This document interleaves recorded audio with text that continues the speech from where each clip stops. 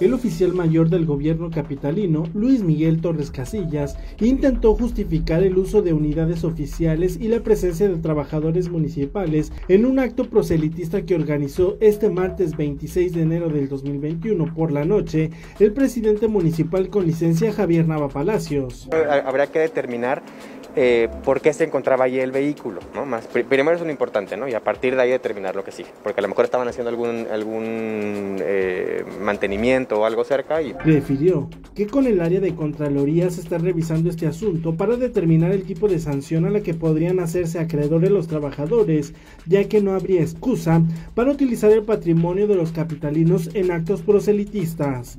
Hay una circular que yo giré hace poco incluso es referente a esto, ¿no? Para que recordarnos a todos que no podemos usar ningún tipo de recurso público y bueno, pues hará la investigación correspondiente en Contraloría.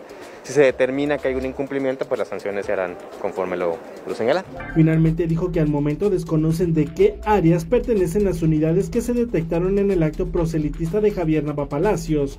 Sin embargo, Oficialía Mayor tiene el resguardo general e individual de cada uno de los vehículos y de esa manera identificarán quién utilizó las unidades fuera de horario, aunque cabe hacer mención que todas las áreas, excepto seguridad pública, ecología, imagen urbana, parques y jardines, servicios municipales, están obligadas a dejar sus unidades bajo resguardo.